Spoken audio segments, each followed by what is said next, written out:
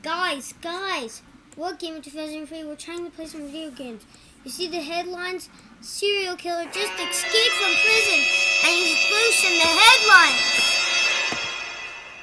Oh, you must mean Redman. He's on the loose. Uh, what is Redman? Oh, it's that guy who attacks people and he likes to do a lot. Like, yeah.